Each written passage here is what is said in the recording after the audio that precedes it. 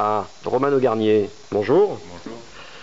Alors, aujourd'hui, la tête du spectateur euh, s'intéresse au CRIARC, dont vous êtes euh, un membre très actif, euh, par rapport à, donc, à une pétition dont on a eu vent, qui s'appelle Pour que vive le CRIARC.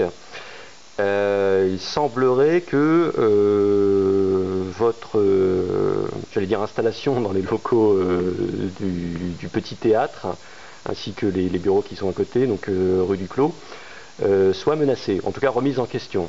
Tout à fait.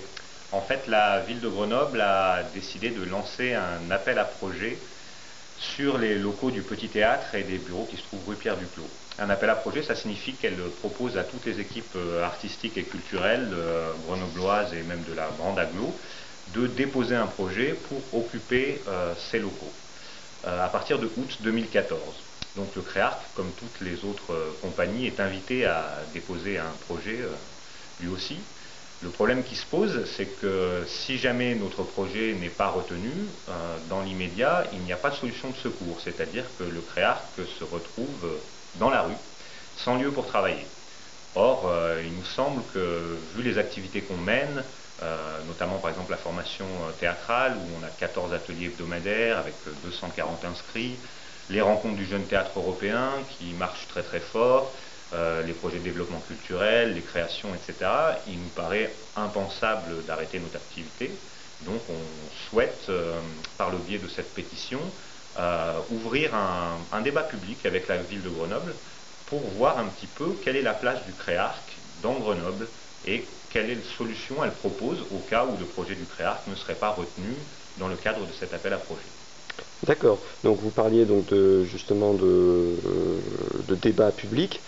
Il devrait donc y en avoir un premier. C'est ça, on a proposé euh, le jeudi 27 juin à 18h30 au Petit Théâtre d'inviter euh, tous les gens avec lesquels on travaille euh, tout au long de l'année, d'inviter la presse et d'inviter les élus de la commission culture de Grenoble à venir discuter avec nous pour voir un petit peu ben, quel avenir pour le CREARC et d'une manière plus large, j'aurais envie de dire, quelle politique culturelle pour Grenoble? C'est-à-dire, euh, qu'est-ce qu'on décide de faire d'un lieu comme celui-ci, qui est en plein centre-ville, mmh. euh, qui est hyper accessible euh, Voilà, qu'est-ce qu'on peut y faire pour que ça reste un lieu convivial dans lequel des gens viennent régulièrement à la fois expérimenter la pratique artistique, mais aussi voir des spectacles? D'accord. Est-ce que vous, d'ailleurs, donc vous avez une réponse déjà euh, de la part des élus euh, par rapport à cette invitation que vous leur faites? Ben, pour le moment, pour le moment, nous n'avons pas énormément de réponses. Non, euh, en général, les réponses négatives arrivent plus vite que les réponses positives, mais on a bon espoir d'avoir quand même quelques personnes présentes.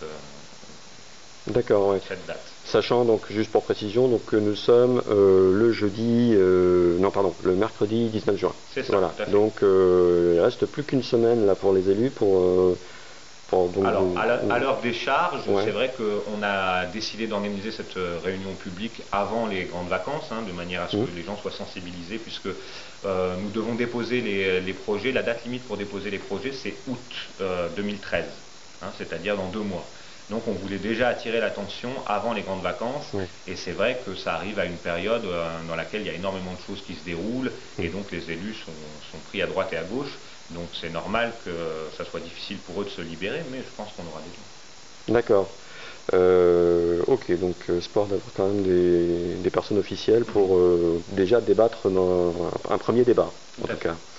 on peut peut-être rappeler justement le, parce que il y a des gens qui viennent au Créarc, bah, comme c'est mon cas, mais qui, qui ne connaissent pas forcément un peu les, les, dire les grands chiffres du Créarc, vu que c'est quand même une, en tout cas on voit que c'est une association très active, mais pour comme ça brièvement rappeler euh, l'activité du, du, CREARC Alors le, le CREARC actuellement c'est 4 salariés à temps plein, une trentaine de bénévoles sur l'année, euh, une dizaine d'intermittents qu'on embauche euh, selon les projets. C'est à peu près 400 adhérents dans toute l'Union européenne.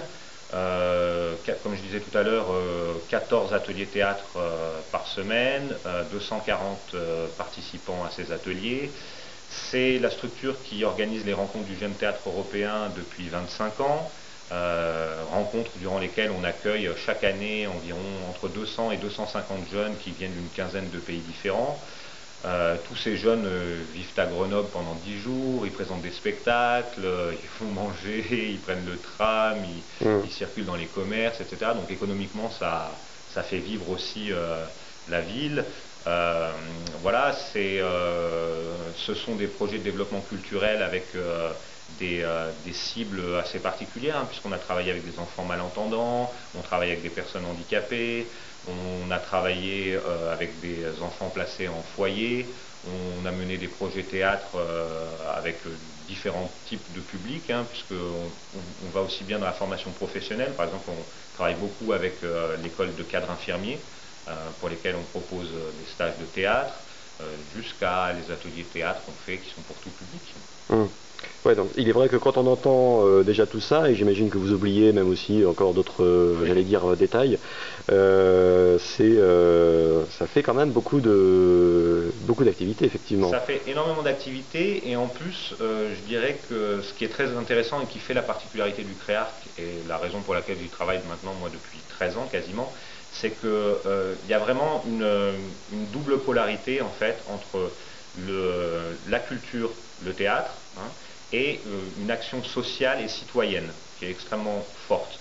Par exemple, les rencontres du jeune théâtre européen, ce n'est pas qu'un simple festival de théâtre, c'est un véritable microcosme, une reproduction de, l'Union européenne, mais l'Union européenne euh, vraiment de, la jeunesse des gens et non pas une Union européenne simplement économique et financière. Donc c'est un peu tout ce qui, ce qui, conduit le travail qu'on mène, c'est vraiment cette, double polarité, à la fois euh, une exigence au niveau de, euh, la qualité artistique mmh. et en même temps un engagement citoyen au niveau des idées euh, sur lesquelles on travaille. Oui, oui, C'est vrai que c'est pas tellement à la mode aujourd'hui. Quand, on dit Union européenne, c'est vrai qu'on pense ah bah, à l'économie tout de suite.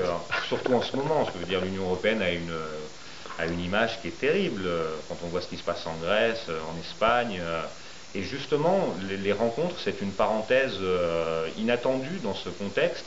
C'est vraiment un moment où on prend le temps de découvrir l'autre, de s'approprier sa culture, de discuter, d'échanger et de se rendre compte qu'en fin de compte, on n'est pas si différents les uns les autres et qu'on a tout intérêt à céder plutôt qu'à se tirer dans les pattes pour mmh. savoir quel pays va le mieux s'en sortir au niveau des chiffres.